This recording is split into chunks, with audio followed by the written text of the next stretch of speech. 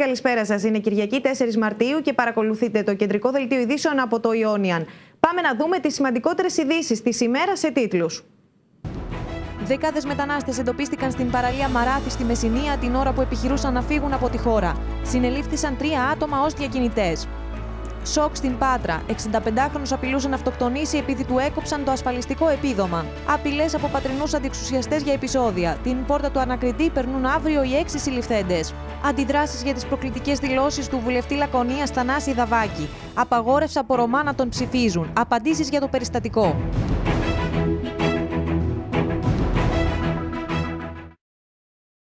Πολιτιστικό κέντρο της Κορώνης μεταφέρθηκαν οι 61 μετανάστες που επιχείρησαν να φύγουν παράνομα προς την Ιταλία από την παραλία Μαράθη τα ξημερώματα της Κυριακής.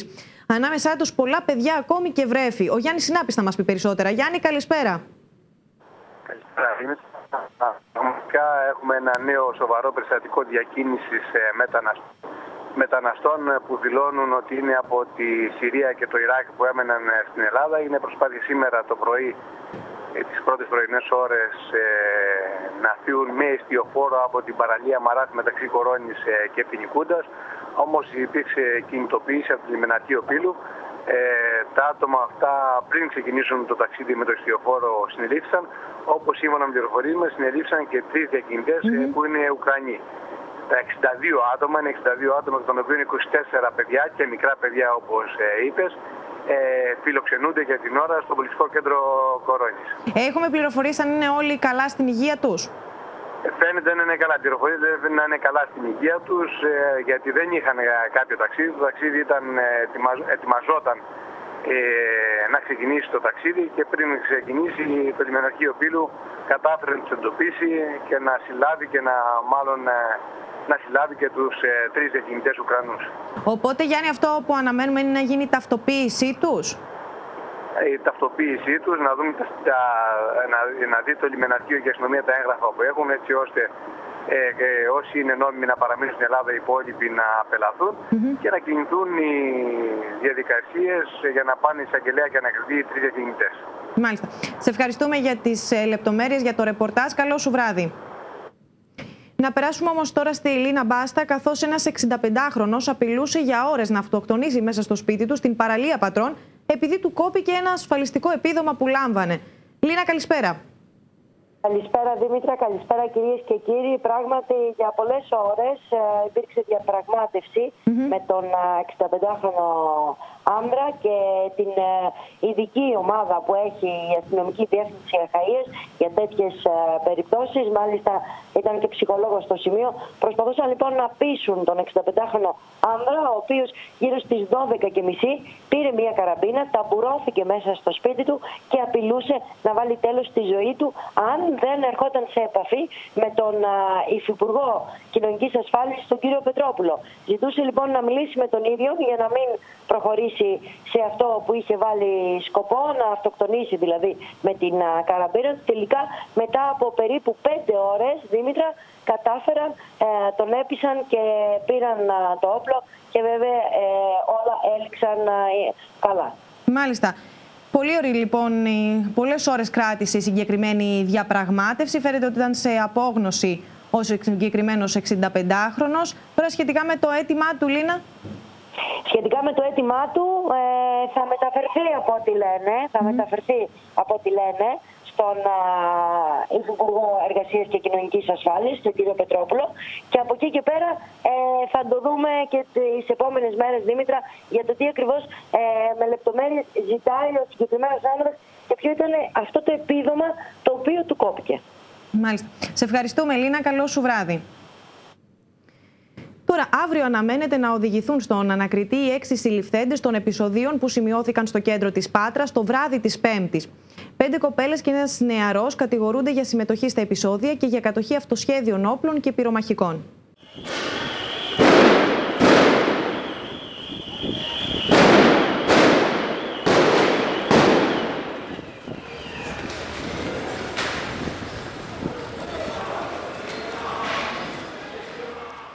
Σε επιφυλακή βρίσκεται η αστυνομική διεύθυνση Αχαΐας από την περασμένη εβδομάδα μετά τα επεισόδια που προκλήθηκαν κατά τη διάρκεια απορίας διαμαρτυρίας ομάδων που ανήκουν στον αντιεξουσιαστικό χώρο.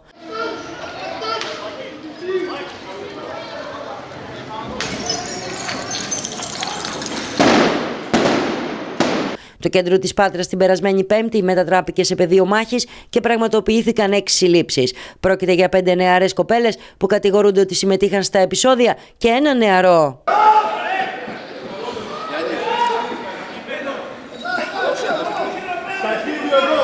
Στα κρατητήρια της ασφάλειας Πάτρας, στο αστυνομικό μέγαρο της ε, Αχαΐας, κρατούνται μέχρι και σήμερα οι συλληφθέντες των επεισοδίων της Πέμπτης. Οι συλληφθέντες οδηγήθηκαν την Παρασκευή στον Εισαγγελέα και πήραν προθεσμία να απολογηθούν με αποτέλεσμα να πραγματοποιηθεί νέα πορεία συμπαράστασης από άτομα που ανήκουν στον αντιεξουσιαστικό χώρο.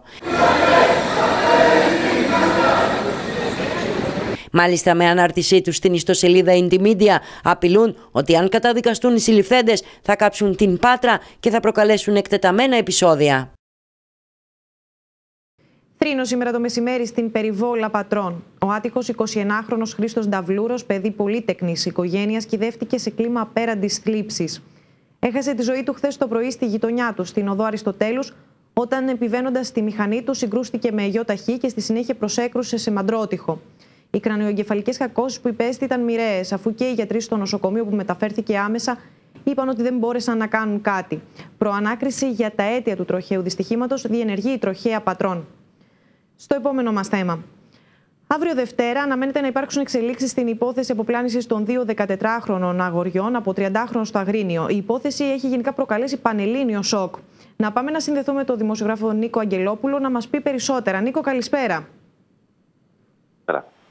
Τι ακριβώς αναμένουμε αύριο; Ε, αύριο είναι μια πραγματικά μέρα που αναμένεται με πολύ μεγάλο ενδιαφέρον για αυτή την ε, πολύπτωτη υπόθεση, ε, την σοκαριστική αυτή καταγγελία μητέρας 14χρονου αγοριού από το Αγρίνιο, σύμφωνα με την οποία ο γιος της και ένας συνομήλικος φίλος του έπεσαν θύματα αποπλάνησης και ασέλγες από έναν 30χρονο προημερών στο Αγρίνιο, ο οποίος παρεπιπτόντος να πούμε ότι είχε κλείσει ραντεβού να συναντήσει τα παιδιά σε σπίτι όπου διαμένει μάλιστα συγγενικό του πρόσωπο μέσω του Facebook. Τα ψάρεψε λοιπόν μέσα από το, μέσα από το Facebook ε, όπου και ε, έκλεισε το ραντεβού.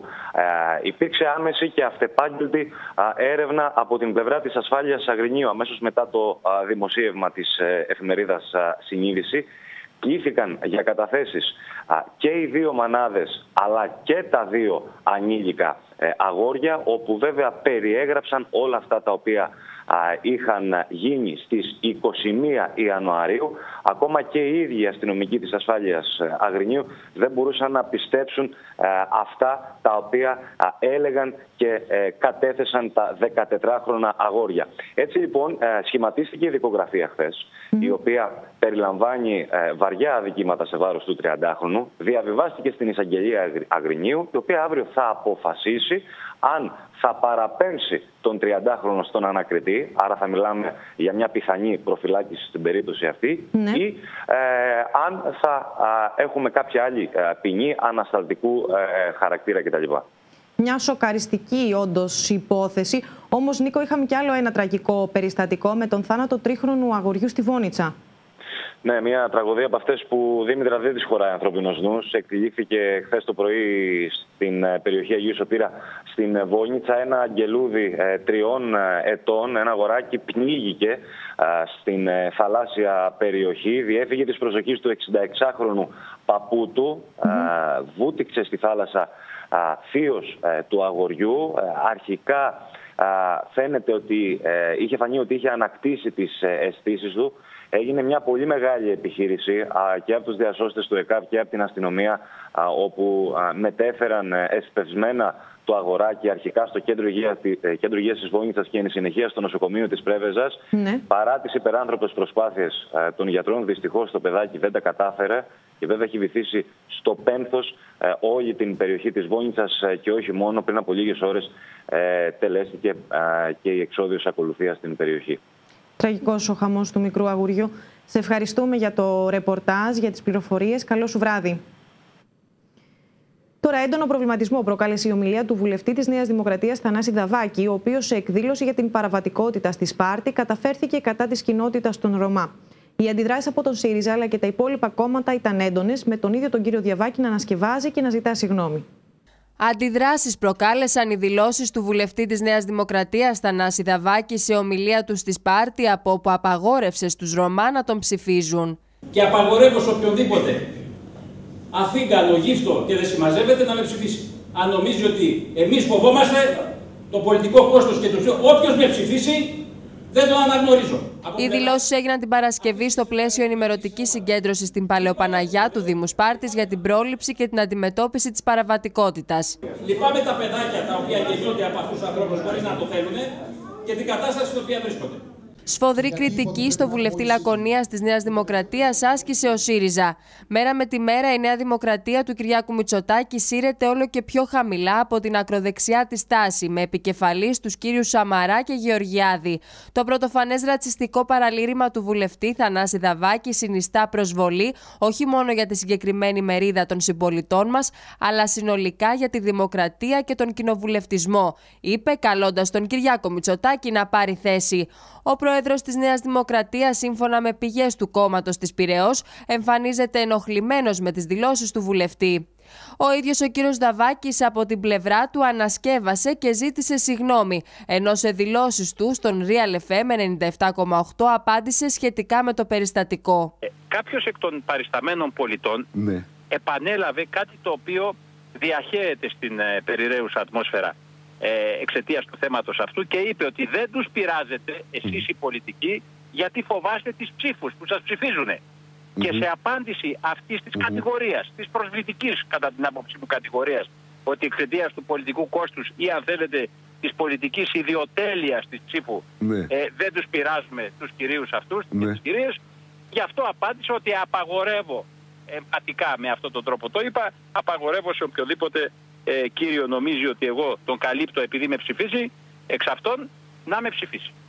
Οι δηλώσεις έγιναν στο πλαίσιο δημόσιας συζήτησης για τα κρούσματα παραβατικότητα στη Λακωνία, στην οποία και επικράτησε ένταση ανάμεσα σε παρευρισκομένους και ομιλητές. Πραγματικότητα να, να το πάμε τώρα. Ξεκινήστε από εσάς και ζητήστε να μην σας μιλάνε πλέον. Η συγκέντρωση έγινε μετά και τις τελευταίες διαρρήξεις στη Λακωνία αλλά και τα περιστατικά βίας, ιδιαίτερα απέναντι σε ηλικιωμένους με πρωταγωνιστές Ρωμά. Αντιδράσεις έχει προκαλέσει η απόφαση του Υπουργείου Εθνικής Άμυνας να καταργηθούν τα κέντρα νεοσυλλέκτων. Ένα από αυτά είναι και του Μεσολογγίου, με τον Δήμαρχο και τους τοπικούς φορείς να ζητούν από το αρμόδιο Υπουργείο την άμεση ανάκληση της σχετικής απόφασης. Να φυλά το πίστην στην πατρίδα.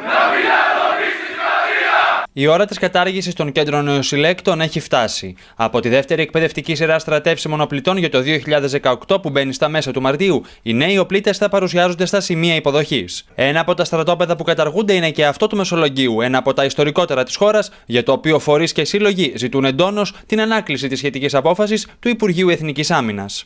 Το 239 Σύνταγμα Ευζώνων είναι ένα, θα το έλεγα στρατόπεδο ιστορικό. Το λέει και η λέξη, είναι ένα Σύνταγμα Ευζώνων. Ε, είναι ιστορικό και είναι δεμένο με την, απόλυτα δεμένο με την ιστορία της πόλης και την ιστορία της Ελλάδος. Διότι αυτό που συνέβη στο Μεσολόγιο δεν είναι τοπικό γεγονός, είναι ένα γεγονός ε, για την ε, έτσι, ε, ελευθερία. Ε, Η κυβέρνηση εξ αρχής ε, δήλωσε ότι αυτά τα στρατόπεδα θα κλείσουν όλα. Βλέπουμε όμως μια επιλεκτική, μια επιλεκτική παραμονή. Και βλέπουμε τη Θήβα, βλέπουμε τη Λαμία. Α ελπίσουμε ότι είναι και το Μεσολόγιο. Έχω συζητήσει, δεν έχω κάτι να κρύψω και έχω διαβεβαίωση του κυρίου Βίτσα και τον θεωρώ έντιμο άνθρωπο ότι όχι, δεν θα κλείσει και το στρατόπεδο του της Ιεράς Πόλης. Υπάρχει ένα σχέδιο το οποίο επεξεργάζονται αυτή τη στιγμή. Αξίζει να σημειωθεί ότι όσο το Υπουργείο Εθνικής Άμυνας δεν δίνει ένα πιο σαφές στίγμα αναφορικά με το σχεδιασμό του για τα συγκεκριμένα στρατόπεδα και δεν ξεκαθαρίζει ευθέως, τόσο δίνει τροφή για διακίνηση κάθε είδους φήμης και σεναρίου.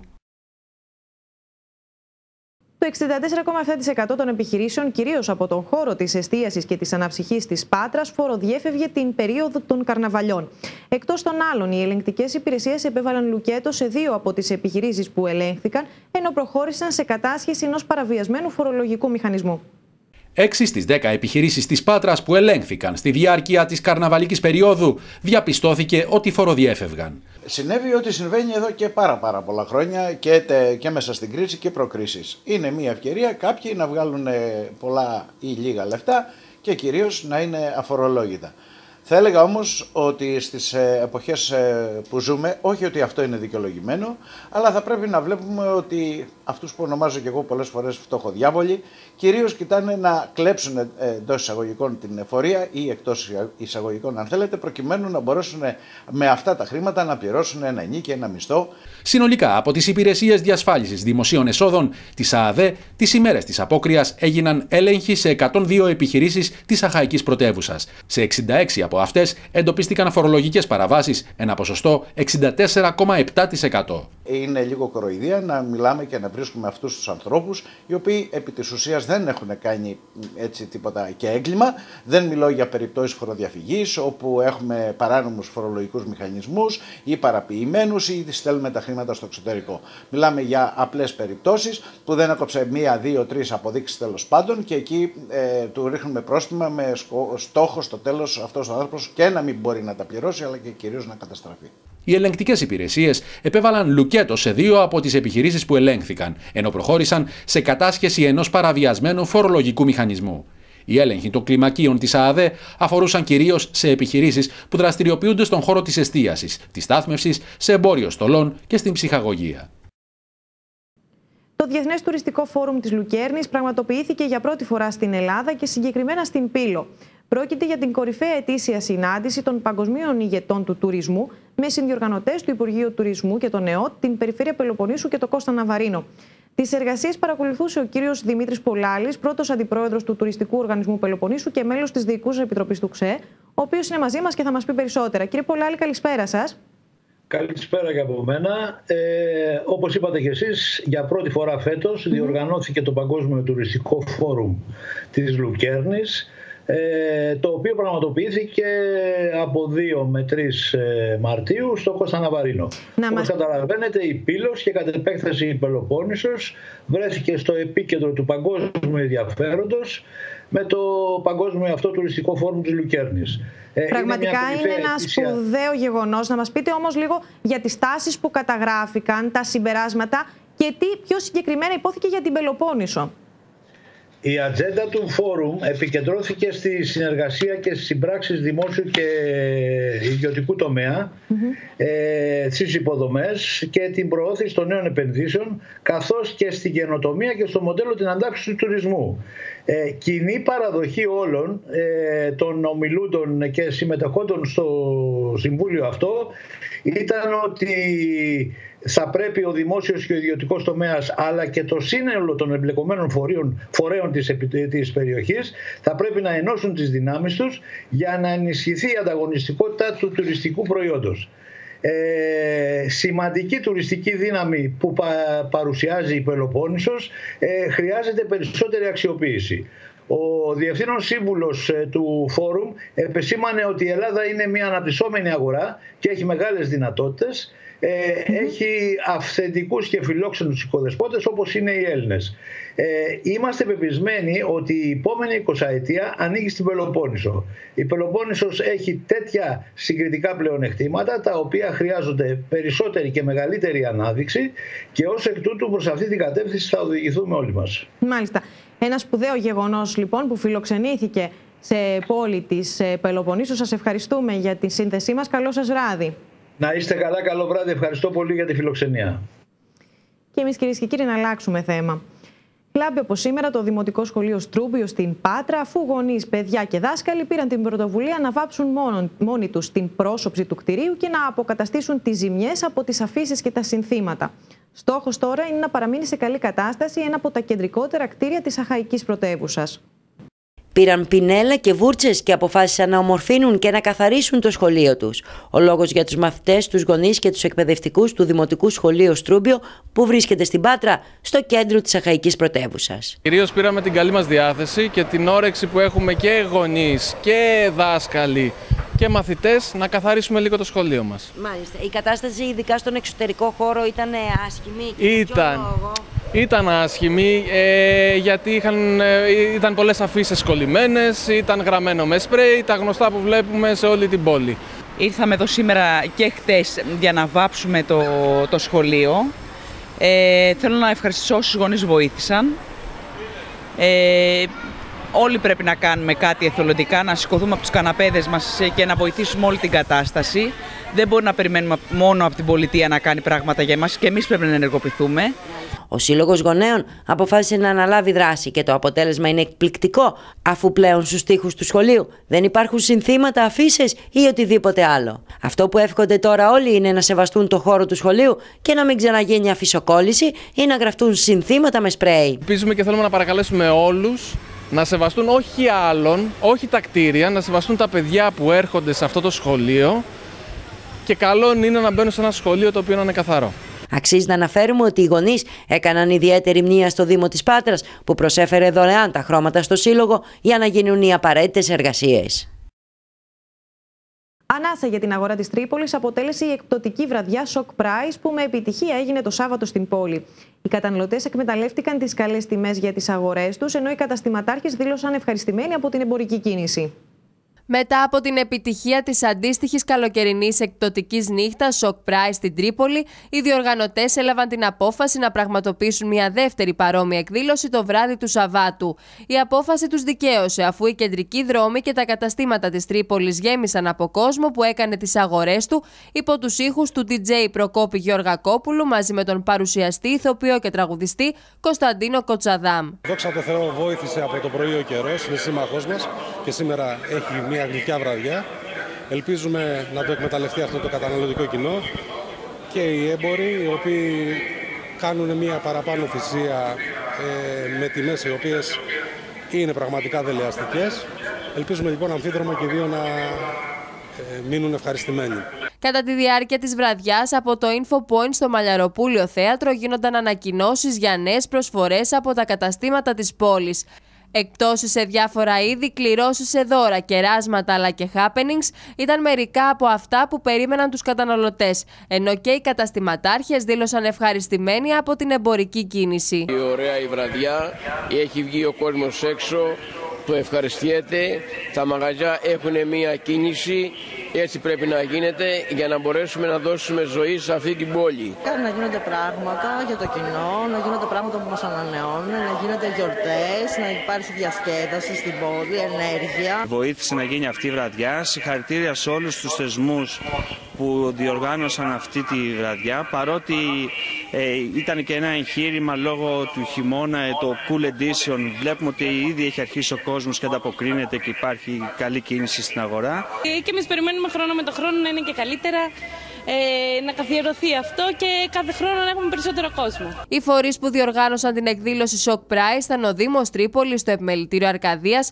ο Εμποροβιομηχανικός Σύλλογος Τρίπολης, η Ομοσπονδία Επαγγελματιών, Βιοτεχνών και Εμπόρων Αρκαδίας, η Ένωση Ξενοδοχείων Αρκαδίας και ο Τουριστικός Οργανισμός Πελοποννήσου. Ημέρα σκέψη για τους προσκόπους της Πάτρας που διοργάνωσαν ειδική εκδήλωση για τη γέννηση του ιδρυτή του προσκοπισμού. Η εκδήλωση έγινε στην κατάμεστη αίθουσα του Επιμελητηρίου Αχαία, ενώ πραγματοποιήθηκαν και βραβεύσεις.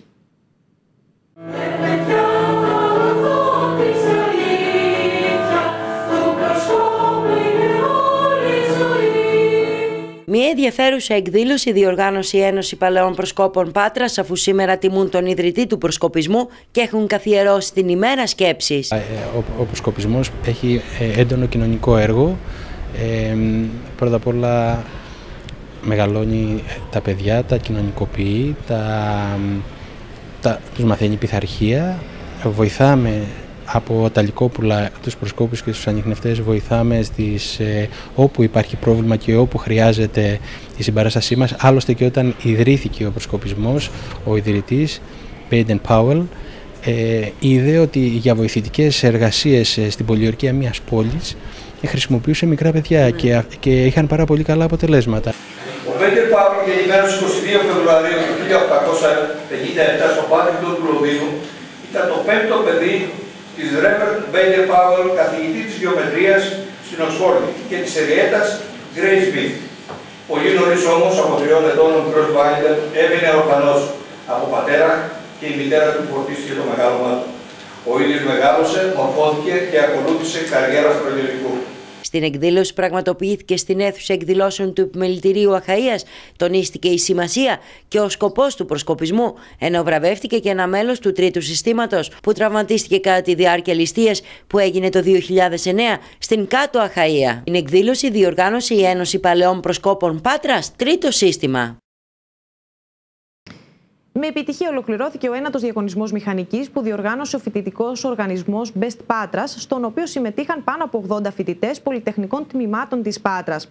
Κατά την τελετή λήξης του διαγωνισμού, απονεμήθηκαν τα βραβεία στους νικητές, ενώ πραγματοποιήθηκε ανοιχτή συζήτηση για τη σύνδεση επιχειρηματικότητας και πανεπιστημίου.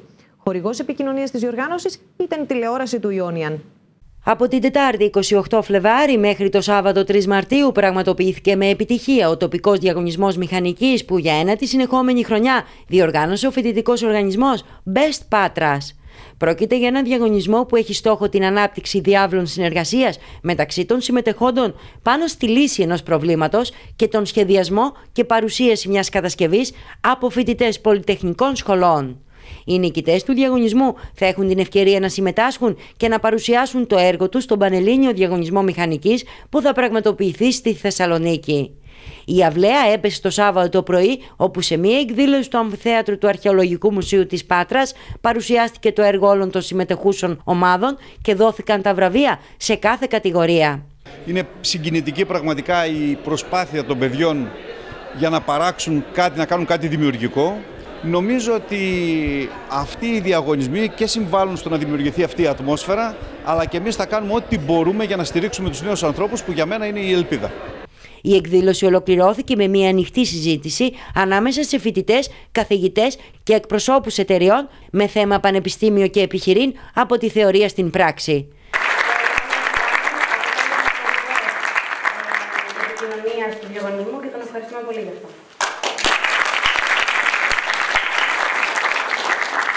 Καλησπέρα σας. Χαίρομαι πάρα πολύ που είμαι σήμερα εδώ στο κλείσιμο αυτής της, ε, αυτού του διαγωνισμού, του ένα του διαγωνισμού μηχανικής. Το Ιόνιαν, στηρίζοντας εμπράκτος τέτοιες εθελοντικές πρωτοβουλίες, ήταν χορηγός επικοινωνίας της διοργάνωσης, ενώ την ανοιχτή συζήτηση συντόνισε ο δημοσιογράφος του σταθμού, η Άσονα Τσόλης. Πραγματοποιήθηκε σήμερα ο πρώτος μαραθώνιος της Άνοιξης στο Ναύπλιο. Πρόκειται για μία από τις μεγαλύτερες και μαζικότερες διοργανώσεις στη χώρα που διεξάγεται για πέμπτη χρονιά στην αργολική πρωτεύουσα με τη συμμετοχή δρομέων και βαδιστών από την Ελλάδα αλλά και το εξωτερικό. Δίνεται η εκκίνηση. Καλή επιτυχία. Καλή επιτυχία να έχετε σιγά σιγά. Με σύμμαχο τον καλό καιρό ξεκίνησε ο πέμπτος μαραθώνιος ναυπλίου. Χιλιάδες δρομείς βρέθηκαν στην εκκίνηση του μαραθωνίου με το σήμα της έναρξης να δίνει ο Δήμαρχος Ναυπλιαίων Δημήτρης Κοστούρος και η Πρόεδρος του Συλλόγου Ελπίδα Μαριάννα Βαρδινογιάννη. Σιγά σιγά να ακούτε το σώμα σας. Καλή επιτυχία σε όλους. Πλήθος κόσμου κατέκλυσε τους δρόμους της αργολικής πρωτεύουσας και παρακολούθησε την εξέλιξη των αγωνισμάτων. Με σύνθημα Δώσε ελπίδα, δώσε ζωή, γίνε θελοντής δότης μυελού των οστών, ο Μαραθώνιος Ναυπλίου είχε ένα δυνατό μήνυμα προσφοράς και αλληλεγγύης.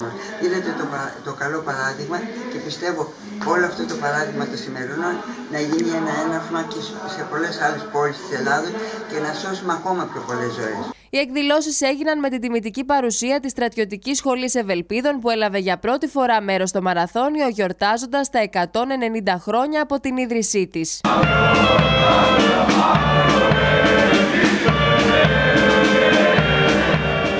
Οι 90 ευέλπιδες σηματοδότησαν και την έναρξη του μαραθωνίου, καθώς όλα ξεκίνησαν το Σάββατο με το άναμα του βωμού μπροστά στο Πολεμικό Μουσείο. 190 χρόνια προσφοράς, 100 χρόνια ιστορίας, το ίδιο το έθνος, η υπόσταση του έθνους έχει ταυτιστεί με τη σχολή.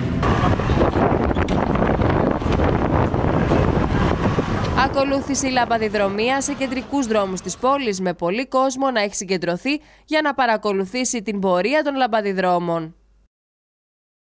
Και στο σημείο αυτό, κυρίες και κύριοι, ολοκληρώθηκε το απόψινό δελτίο ειδήσεων από το Ιόνιαν. Σας ευχαριστούμε που μας εμπιστευτήκατε για την ενημέρωσή σας. Από όλους εμάς, καλό σας βράδυ και καλή εβδομάδα.